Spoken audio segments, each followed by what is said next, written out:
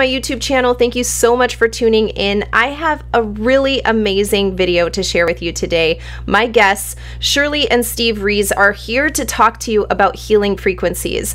This is especially important for people who are going through trauma. You're going through the impact of what it, your life is going to be like now that you realize that number one, you're with a narcissist, or number two, you have to face all of the complications that go along with family court and a narcissist. And we we need to take care of ourselves because we can only make decisions that are on the level of ourselves, right? And so if we're not in a good place, we're not going to be making healthy decisions, healthy choices, and really be thinking long term. Not just to mention what we're doing right now, but the ability for us to uh, see into the future and have our imaginations uh, partnered with the perfect will of God for our lives is so important, especially now. So without further ado, I will bring on Steve and Shirley. Thank you so much for joining me today. Well, it's our pleasure to be with you. Definitely. Thank, thank, thank you for having us. Yeah. I just want to share with my audience that we've actually known each other for quite a while. I met you back, I think, 2018 at uh, at a conference that you guys were doing in Appleton, Wisconsin. Yeah, yeah we were there with Kel. Yeah. Yeah, right. you were there with Kel Bales, and uh, and I knew just from that meeting. I, I think I bought some of your tabernacle frequency books and some other books and it just was the revelation in there was life changing for me at the time. And then this past year especially for me i've been gone back and reread those books because there's so much in frequencies and the healing that they bring. And the revelation that you guys carried not just with the sounds but even with the um, with the clothing with, with talking about how you know you shouldn't mix your your kind of clothes that you wear and so forth. Oh oh, it just is so good. And I'm so glad that you guys are here to share that knowledge with my audience today. Well, we're, we're glad to share with what uh, what we can, so, what we understand. You know, that it's um, it's interesting because as you start to delve into this area of, of frequencies, um, there's a lot of um, there's a lot of different views I should I should say. And one of the things I like to say right up front um, because a lot of there's a lot of um, practitioners that just go after the frequency and don't give God credit for being smart enough to have designed the frequency to be for our benefit. And um, I like to say I draw a line at um, we're either going to glorify the created, what was created, or we're going to glorify the creator. And we're and my my whole life is to be to glorify the creator and I want to understand as best as I can and, and really pursue what is he, what tools has he given us and I believe the frequencies I believe he created with frequency so we can get into that um, possibly but um, anyway he it's kind of like the frequency. He's it was his way of putting his his signature on his creation. So maybe maybe that's a good way to start. Absolutely, I actually really love that. I I. I watched your interview that you did with Dr. Ben. Dr. Ben was just on my channel as well, and um, and you talked about how you actually think that the world was created from 528 hertz. Is that correct? Yes, I do. I mean, I lo- and singing and I just love that because you know of course Zephaniah comes to my mind of that he's he's singing songs of deliverance over you and it's a constant it's all the time right? Yeah. and so I just yeah I love that. Do you want to go into that? Well just to just simply uh, when we go back to that creation account in Genesis um, you know it's and God said let there be light. Well interestingly enough um, I first of all think he sang it, and I think he sang it in 528 frequency, because when you the work that I've done with the Hebrew alphabet and the Psalms of David, and each Hebrew letter having a musical note that is associated with it, what we find is that the name of God, Yod He Vav He, gives us that 528 hertz C chord, and and so, in fact, one of my CDs is called The Frequency of Light, which is based totally on that 528 frequency.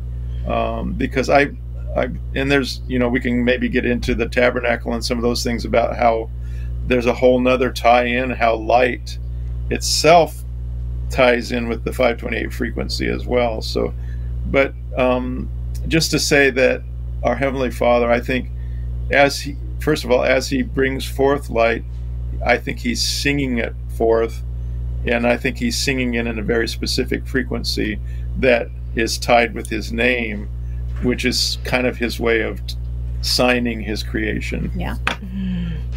Wow, that is so powerful. And that really resonates with me because he's so loving. He would put love into every single his signature, you know, that you're you're mentioning, you know, another synonym for God is love. And yeah. so to me having that input into every single thing that he created that just lines up so much with his character and who I know him to be. So I love that you were able to to bring that out.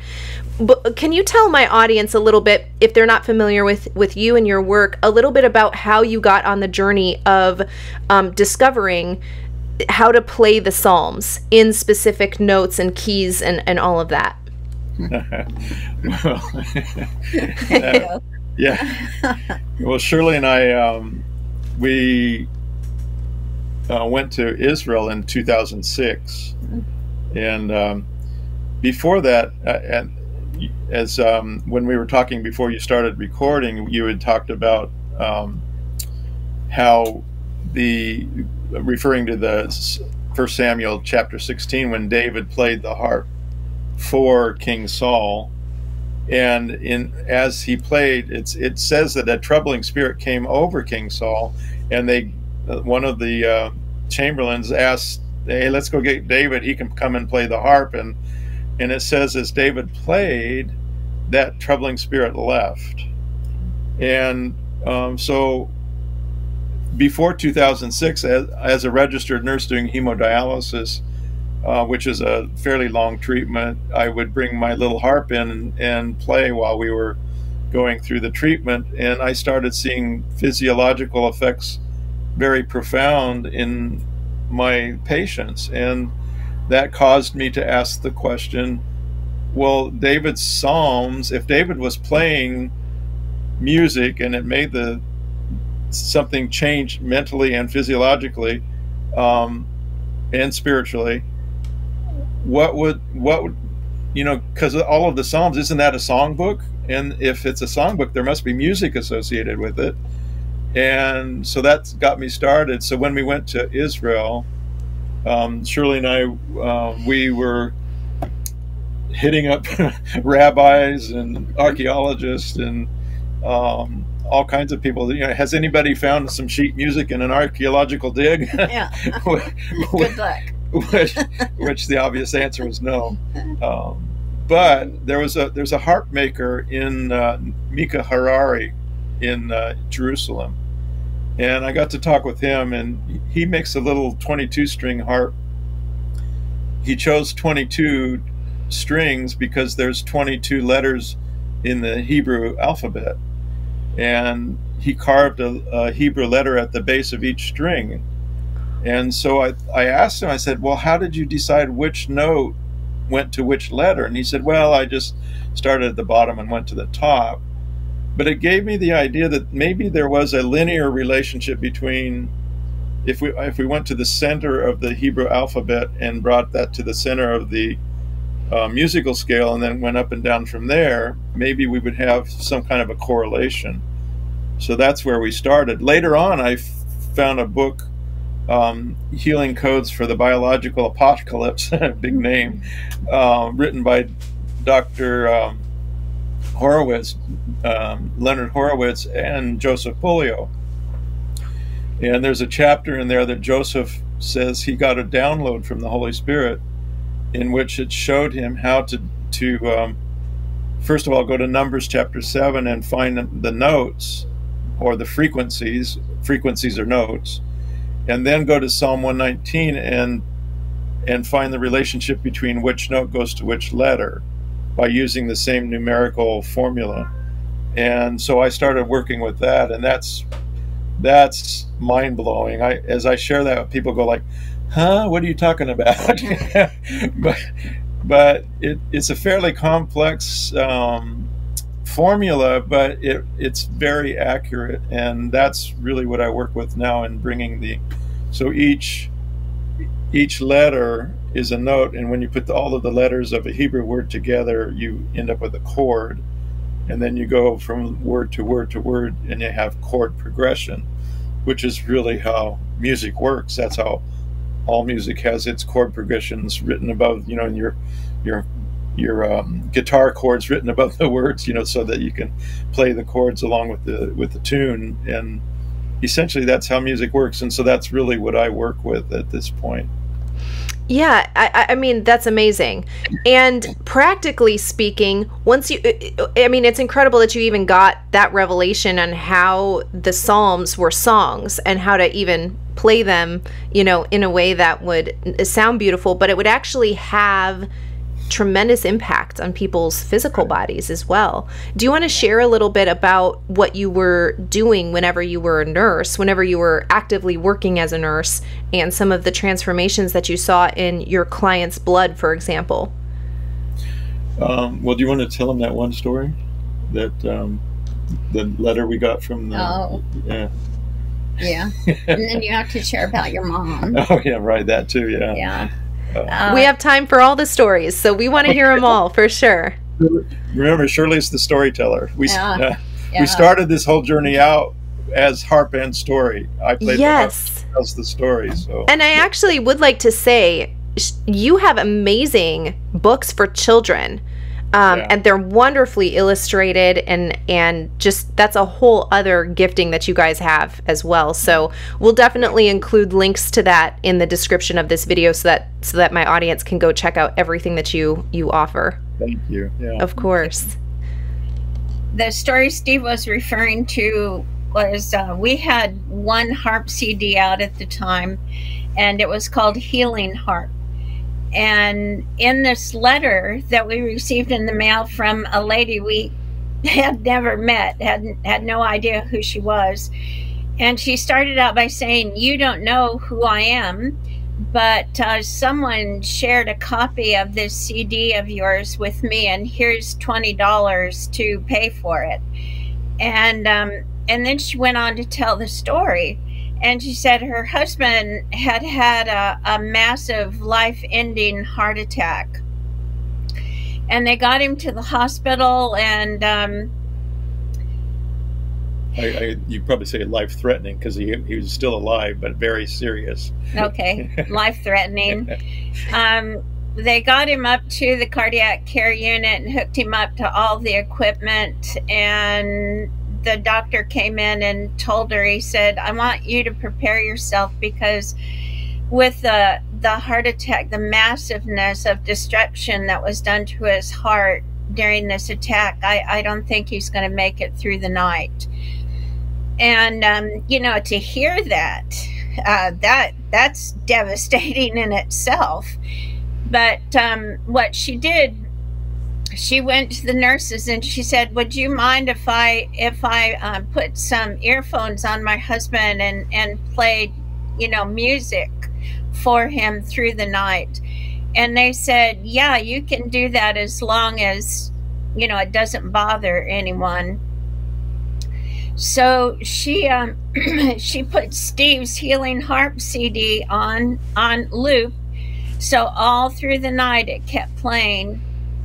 And when the doctor came in in the morning, he picked up the chart, looked at the chart, looked at his patient, looked at all the machines to make sure they were still working. Then he turned to the nurse and he said, What have you done? and they said, Nothing more than what you ordered. And he said, Well, this isn't the same man that came in last night. And uh, she said in the letter that three days later he was discharged from the hospital, healthy and whole, and went on to, um, you know, live and enjoy life. The both of them together. And it was just an astounding story. And as we read it, it was just one of those stories that bring tears to your eyes because you have no idea. Yeah. Yeah you know one of the one of the things that this story and you know talking with you guys prior to we to when we started recording is thinking about um, you know your body being 70% water, right? And actually, years ago, I remember I, I, I, uh, I had just come back from Afghanistan and I was having bad headaches and I didn't I didn't know what was going on there and I went to a doctor who who actually told me that you know the moon can affect that.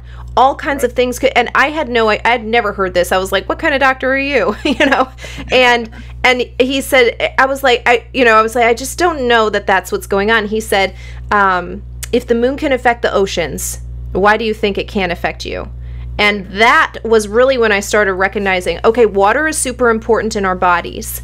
And this past year, I started learning uh, more about our fascia. And, and this is the tissue, you know, between your skin and your muscles. Right. And how important this is because that's nearly a 100% water. And so even your internal organs and stuff could be functioning normal, but if there's no way for that to, to come through your, your bones, your muscles, and then your skin, your body can still be in a lot of dysfunction, a lot, not disharmony. And so, uh, I would love if you could talk about a little bit about you know bringing those waters into into harmony and I just love how every kind of thing ties together. Like the way that creation happened. Even I think about Jesus speaking to the waves, like, be still. He was, I believe he was speaking on a frequency that he already had internally, right? That, and he was speaking on that frequency that he wanted those waters to, to mimic, to, to come into congruence with. Yeah, I, I think so. And the, you know, the interesting thing is, you know, if you think about it, Jesus said, "I am the light of the world." Well, what what is he saying? You know, he's mm. he's definitely identify. You know, John one one. He said, "In the beginning was the Word," so he's called the Word as well. And the Word was with God, and the Word was, and all things were created by Him, and nothing was made without Him. You know, so so and then that takes us directly to Genesis one one. You know, so um, so here we have him calling himself the light referring himself back to the beginning and you know there, it's just so tied in you know interestingly enough even when you go to the rainbow the word the hebrew word for rainbow ends up being the 528 frequency as well wow. and um, and the whole description you know the whole how shirley and i got on the um, the tabernacle you were referring to the tabernacle um, journey through the tabernacle book that shirley wrote um, one morning, Shirley, she said, "You know that um, those those frequencies that you work with, you got out of the Numbers chapter 7, She said, um, "Have you noticed that there's six frequencies and there's also six pieces of tabernacle furniture?" Hmm.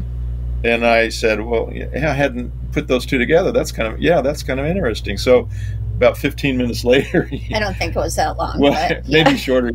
anyway, um, she said, you know that thing you do with the Psalms where you get the chord progression? You say, what would happen if you took the description of the um, each of the pieces of furniture, you know, like Exodus 27 talks about the brazen altar. What would happen if you um, did the chord progressions out of that? I said, well, you know, let me get started. so, so a very interesting thing took place in that as I did each piece of furniture, normally when I do a psalm, there's a certain number of, of G chords, certain number of C, certain number of A. You know, it's kind of equally distributed. Well, not equally, but a certain ratio that shows up with each of the psalms. But in the case of the pieces of furniture, each piece of furniture had a different emphasis on a different chord. And when I took those chords back to the frequency that represents that note, each it, a really amazing thing was that at the first thing you come to, the uh, brazen altar where the sacrifice is made, that's the lowest frequency. And then when you come to the next piece of furniture, the laver, it's the next highest frequency. And then the menorah is actually ends up being it's the light and it's 528 frequency. Very interesting. And then you come to the table of showbread, it's the 639. The um, golden altar for incense, the 741 and then the uh, final inside the Holy of Holies, where the the uh, the mercy seat and the Shekinah presence, that's the highest frequency, the 852. So so that's where Shirley wrote that book, where there's a process of coming through the tabernacle where we we don't have a tabernacle anymore. But what Paul says, don't you know, Yeah. we are the tabernacle. Yeah. Yeah. So so that that book that that she wrote was taking us to each of those stations to to engage in in the process that was going to bring us into the highest frequency, which is the presence of our heavenly Father. So so that's just and and all of those things play out in the natural world as well. Mhm. It's all related. Yeah, exactly. And and it, yeah, that book was was so profound to me as well where every single thing is so intentional. You know, it kind of just makes you stand back in in true awe of how marvelous marvel marvelously we are all created and everything was created, right? Nothing was on accident. Everything was specific, very intentional and down to the down to the things that we cannot see. You you talked about the the frequency of light and uh, and and Jesus saying, "I am the light of the world." And the very first thing that was ever created was light, right? Right. But the but the moon and the stars, none of- none of the things were that made natural light were made until days later. And you don't so have, you don't have life if you don't have light. Right, but the things that produce light that we see didn't come until the day until day 4. And Yeah. Right. the first Right. thing was light. And I always thought that's so interesting and I read a book uh, it's called The Quantum Glory and it's about how th- this author believes that what was first ever made was the quantum realm light. yeah. Uh, Quantum physics, quantum entanglement is is a fascinating field. Fascinating. Well, Shirley Shirley's written a book called uh, God's Power Lines, in which she Yes. really f- fleshes out that um, that whole relationship. Yeah. Yeah. everything we see in the electricity is what we see in the spiritual realm. So, Yeah. Yeah, that book wa- i- is actually one of the books that I I'm working through right now in my own self. And like I said, the the frequency of even your clothes, because in in Leviticus there's a bunch of you know pretty strange and very strict rules that don't really make sense unless you go down to the the the quantum level on some of this stuff because you don't Right. understand that the frequency of your clothes will will cancel each other out and actually not allow you to, to the electricity to pass through your body. And for you to be a conduit it will it will actually cause damage to you.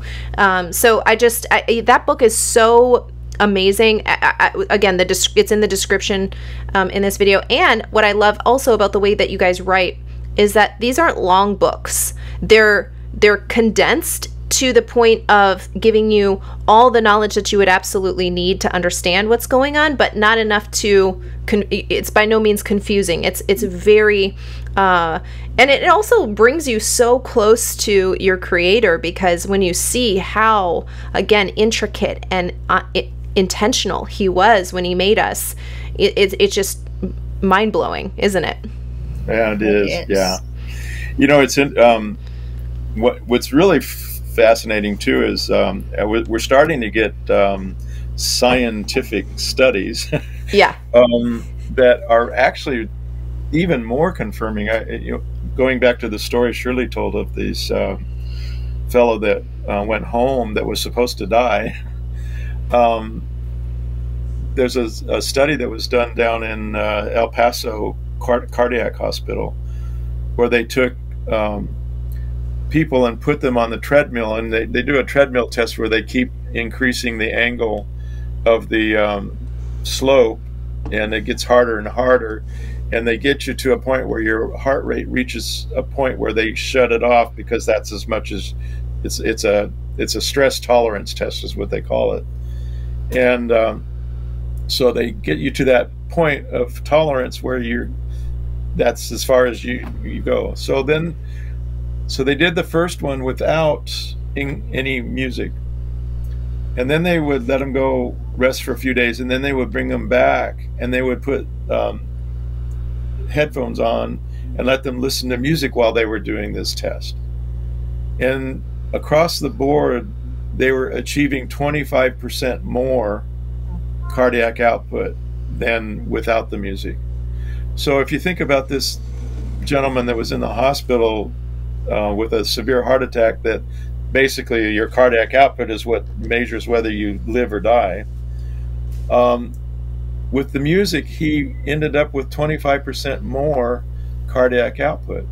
Nice. And that's enough to make the difference between life and death. And mm. uh, so, so you know, and then there's other studies that are have giving sim- similar results. So, it's just uh, we there's something that our heavenly Father wants us to understand about this these frequencies. Yeah, yeah, I definitely agree. You know the when when because when we can uh, combine our faith and our understanding we can truly start making changes that are replicatable right so it's not just like by accident that i stumble into something i can now intentionally do this for myself and also pass that knowledge on to other people as well so that they can have the same the same outcome that that i experienced yeah. so I, i'm definitely in agreement with you on that what would you say to people who are um, who are in my audience um, is primarily people who have just recognized that they are dealing with a narcissist, or maybe they recognize that they're dealing with a narcissist, but they're not really quite sure on how to handle that. Again, there's a lot of confusion, a lot of overwhelm, a lot of life-changing events are happening. So what would you say to to them about the power that is contained in in you in the frequencies that that you play on the harp? No, no, you. you start that one, and I'll well, there's anything to fill in. Well, just you know, going back to the story you were relating before we started recording about the woman that was clearly her mind was very much um, cleared up with the influence of the music. Um, and I think you know there's other studies that are showing how uh, even our neurotransmitters are stimulated with the music, and and so um, I have people write me all the time on my YouTube channel. Um, you know, one guy said, "I when I started listening to your music, I was able to." He said, "I've been trying to get off drugs for years." And not succeeding, but I started listening to your music, and now I'm clean. Wow! Um, and so I can only attribute it, you know, I can only attribute that to that um, physiologically, you know, I'm I'm a registered nurse, so I'm trained scientifically to think, oh, you know, and and I always have to be careful to not negate the spiritual influence as well. Um, but at the same time, the scientific explanation would indicate that these neurotransmitter stimulations could definitely be a, a boost to his ability to come off of drugs, because a lot of times drugs mimic these neurotransmitters, and so if you if you are able to stimulate those with your natural process, then you're not going to need the drugs. And so, I mean, that's just a scientific explanation mm. about what could possibly have taken place in this in this one instance that I'm, I'm aware of.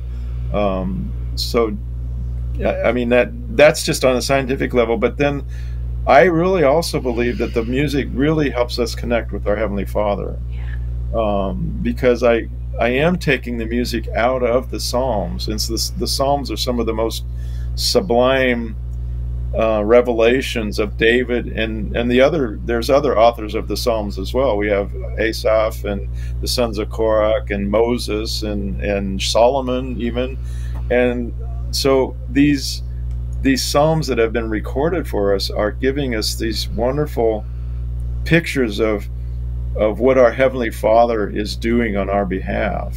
And um, I have a, a thought. Um, we were talking about quantum physics earlier, and the, area, the yeah. whole um, realm of quantum entanglement. So, if God is light, Yeshua said, "I am the light of the world." So that that's light. That's that that light frequency and the entanglement is um, yeah god is everywhere and so if you're connecting with music that was orchestrated by God himself that that was put in word form for us through the Hebrew language all that entanglement whoever listens to it is going to benefit, be entangled yeah with the light source, which is God.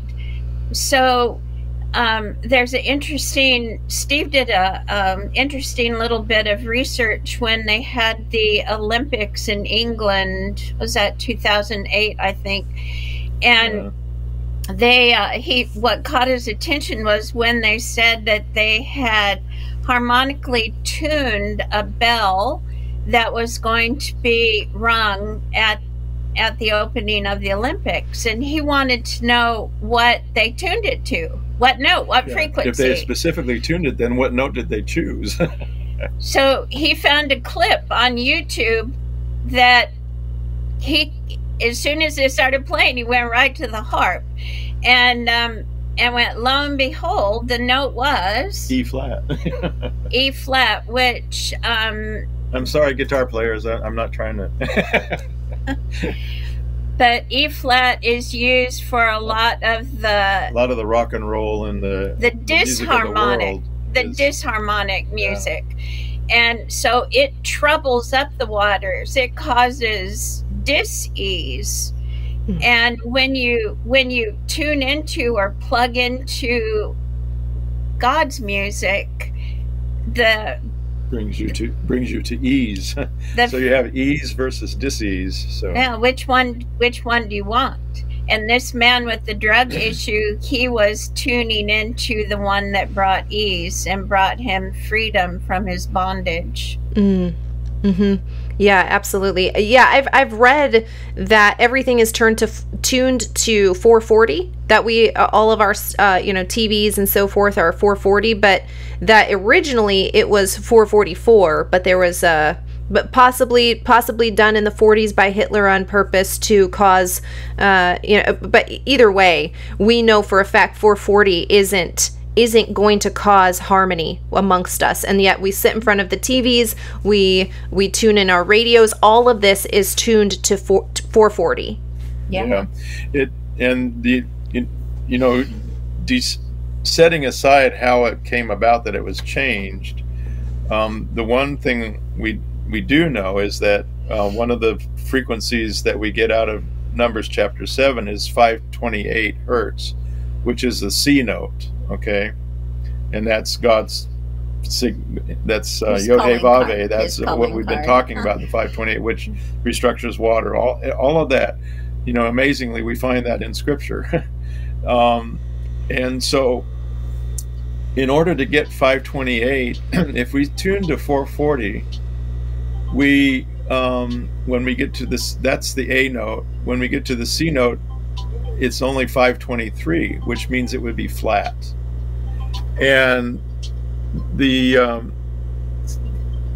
so in order to get to 528 we have to bring that a note up to 444 hertz. And then when we if we use that as our standard and tune all the other notes to that then the c note will be 528 hertz. And so for that reason more than any other i believe we should be tuning at 444 instead of 440 just because that gets us into the proper frequency for all of the other notes that we're going to be playing. Mm-hmm. Yeah, absolutely. I've also read, um, again, I kind of went on my own healing journey um, last year. I, I my, you know, I go to a functional medicine doctor. Um, he he believes he believes in Jesus, and he would always tell me, you know, your body wants to heal yourself. I was diagnosed with uh, adrenal fatigue. That's what my blood work was saying, and and he would always tell me, you know, your body wants to heal yourself, and so forth. Um, and and he would really partner with me on whatever I was finding, you know, to, to do. Because I didn't take any medication, I literally just stopped working and allowed my body to rest and uh, fed it really good food. Um, and uh, and so anyway, he he told me that, uh, or or I started looking into this that every organ has a frequency. Have you have you ever ever read that? Have you ever heard of that? Yeah, it. Um, in fact, that really plays in with the um, tabernacle frequencies uh, again because and what Shirley was witnessing the um, I think it was just last night you were you found that some of the frequencies were helping your and others were not helping. Oh, and yeah. what we and what we found is I've got several naturopathic doctors that uh, hand my CD out to patients and um, have them listen to each one of the frequencies and see which one of them is helping them the most. And that's caused me to go into another project in which I'm doing a full CD on each one of the frequencies so that if somebody has one that's helping them more than another one, then they can have a whole oh, CD wow. that's just on that frequency. Yeah. Mm. Mm, yeah, that's that's really interesting. Yeah, so I read about that. And then have you ever have you ever um, read or done anything with binaural beats? Are you familiar yeah, with this? Okay. That, yeah. Yeah also interesting, isn't it? Because the the whole the whole purpose of uh, essentially what you do is you have to listen with headphones, but um, each headphone will play a different frequency. But when they're played together, it brings both parts of your brain into harmony, um, yeah. which which is just so interesting to me. That again, going back to what you were saying, it releases neurotransmitters. We know that for a fact. We know for a fact music does that, and we can see it scientifically, bringing our our brain waves into cohesion with each other simply by listening to music. Right. Yeah. And uh, the hmm. and the, the key with that, you know, I haven't really been do, recording in that because obviously I can only do one frequency at a time. Um, but you have, but it takes the specific um, tuning of the frequencies that are going to give you the proper effects of that coordination within your brain. Mm. Yeah. Mm. Yeah, it's it's just really amazing all of the tools that we've been given, you know, here already on the planet and we're you know in in our advanced states we think oh look at this amazing thing that we just discovered where where god had obviously already ingrained that into all of the levels of creation right everything here is to serve us everything here is unto life right for right. us yeah, and trying to take life away yeah. yeah. Yeah. I have kind of a theory about that too. Um, you know, it's interesting. You know, as we look around the world today, we see lots of trouble, lots of chaos. Uh, we have a lot of toxins. We have uh, societal issues, all wars, rumors of wars, which uh, kind of makes you think about some things that we we know about that have been foretold. Anyway, if you think about, it, I like to go to well, first of all, I go to Psalm 139 where it says God's telling us, telling through David, that while we were still in our mother's womb, He was forming us, He was knitting us together, as the words that He uses. And so that means that He has specific designs for each one of us, purposes and talents and designs and and uh, you know, I, like Jeremiah, I know the plans I have for you, plans for good and not evil, hope and a future, you know. So we have this specific design that he's given each one of us. Well, the enemy's trying to take us away from that design. He's trying to take that design out of us because he doesn't want us to be effective. He wants us to to be crippled, as it were, to yeah. be in in disease instead of ease. And uh, so then, on top of that, you go to the book of Esther, and Mordecai, at one point, he says, Who knows whether you come to the kingdom for such a time as this? And so, you know, each one of us have come to the kingdom right here, right now, for such a time as this. And I think our Heavenly Father is smart enough. You know, it's like a friend of mine has always said, He's smarter than we are. Um, he He's known the times that we are in and he knows what it what we need in order to be able to tune back up. In fact, the heart behind me, if I if I let it sit a couple of days, I have to go back and tune it because it's gotten slightly out of tune and it doesn't sound right. And our heavenly Father, I believe, is giving us this knowledge of these frequencies, these proper frequencies, because He knows that we need we've we've gotten out of tune, and it's time for us to get tuned back again. Well, we each have a witness and a testimony. Right. And and if we don't get what Steve just said retuned to be in ease, then our witness and our testimony will not be for our Father in heaven's glory. If if we're not in good health, then we're not a very good witness. you know. Well, good health physically yeah. as well as mentally yeah. and emotionally. Yeah you know, if we're running around with a donkey face, all sad and oh, and I've got all these pains and all, you know, then people go like, "Well, I don't want what you have." so, yeah. But our heavenly Father is giving us this wisdom and understanding you know, through functional medicine doctors who give God credit um, through these frequencies, all of these different things that are being made available to us so that we can have. Yeshua said, I came that you may have life, that you may have it more abundantly. So, I mean, that's what that's our heavenly Father's plans for us, plans for good and not evil, hope in a future. That's what that's what the plan is. And like, and I just to add to that, yeah. I don't think Steve is saying that if you have pains or or some type no. of medical issue that you're out of God's eyesight, out of his favor. Sometimes it's, he's getting our attention. yes, and it's your attitude that you respond with. It's like, I want to give you glory, God, no matter what happens to me. And that really is the story of Job. Yeah. He got to the point in his life where he said, though you slay me, Lord, I'm, I'm not going to deny you. I'm not going to betray you. I'm going to continue to trust in you. And even though his physical body was tormented, he came to that place of peace emotionally, mentally, spiritually to know that, that whatever happened to him, God was doing it as a perfection of his character. God had not left him. He, the Bible says, I will never leave you or forsake you.